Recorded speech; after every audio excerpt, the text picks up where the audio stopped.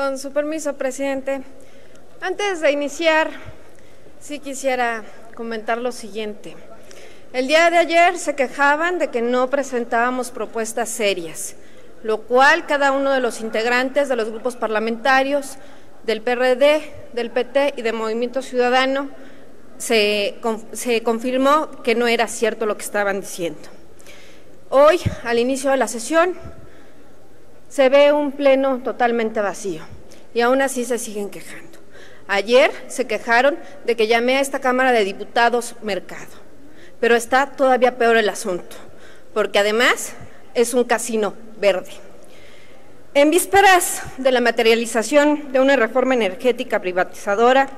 no es de extrañarse que de nueva cuenta se busque beneficiar a grandes empresas. En este caso, primordialmente transnacionales, en perjuicio del conjunto más vulnerable de la sociedad a través de la experimentación de un aumento generalizado en los costos en bienes y servicios del sector, tal y como la experiencia nos los ha demostrado con la liberalización de otros campos al capital privado.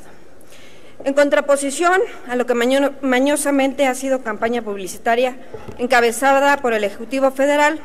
Respecto al proyecto de legislación secundaria en materia energética, lo que podemos resumir de este proyecto de nuevo orden jurídico es que ha sido conducido con, total irresponsabilidad por sus promotores en temas trascendentales como el medio ambiente,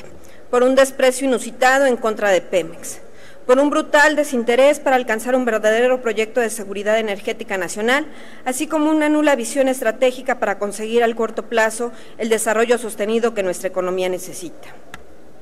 En atención a lo anterior, es por lo que afirmamos que existen razones de sobra para no considerar viable para el futuro del país la participación del capital privado en todas las cadenas de producción de los hidrocarburos, que la expansión y modernización que la, empresa paraestatal Pemex requiere debe prever la recuperación de contenido nacional en el sector, no desmantelarlo a manos de empresas extranjeras que, favorecidas por un esquema de fiscal laxo, se les permita llegar a un país con una visión de saqueo desmedido de los recursos naturales. Se mantiene el mismo esquema fiscal para el sector público, es decir, prevalece la obligación irrestricta de Pemex sobre el pago de derechos al fisco, mismo que actualmente instan a la paraestatal a soportar entre el 30 y 40% la base presupuestal del país, condicionándola a entregar a favor de la Federación cantidades superiores al 90% de su utilidad anual. Así, ante el panorama descrito es que se construye un escenario de enorme desventaja para Pemex frente a sus competidores, pues será casi imposible que ésta pueda entrar o permanecer en el mercado sin posibilidad de invertir en investigación o compra de infraestructura y nuevas tecnologías. Que por esta ley de ingresos sobre hidrocarburos es inaudito que se encubren flagrantes violaciones a nuestra Carta Magna, como son el otorgamiento de concesiones a favor de entidades privadas o la exención otorgada a esta respecto al pago de utilidades a los trabajadores de aquellas empresas que realicen actividades de explotación y extracción de hidrocarburos. Me pregunto,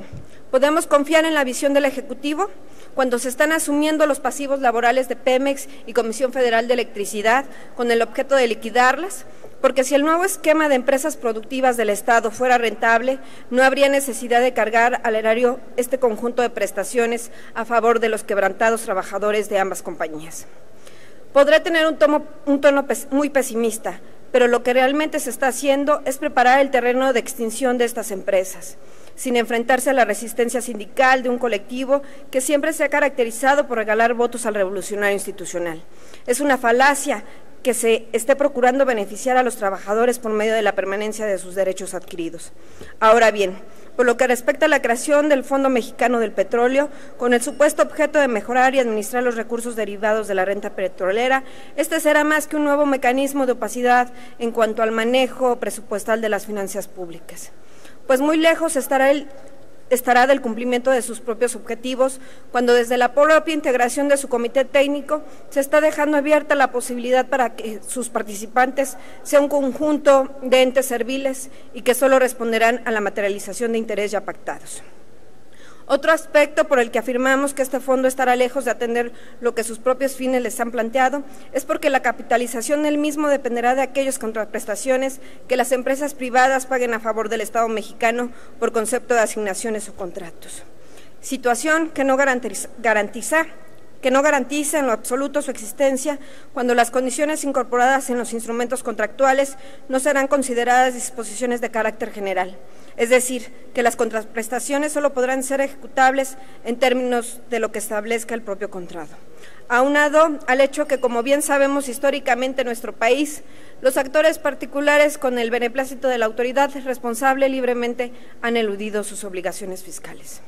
Es por eso que los integrantes de Movimiento Ciudadano es que proponemos la moción suspensiva con el objeto de suspender el proceso de discusión del dictamen. Pues otra vez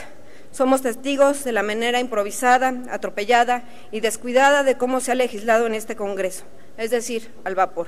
con toda opacidad, siempre en atención a los designios que dicta la oficina de la Presidencia. Muchas gracias a aquellos que han tomado y prestado atención. Gracias, diputada.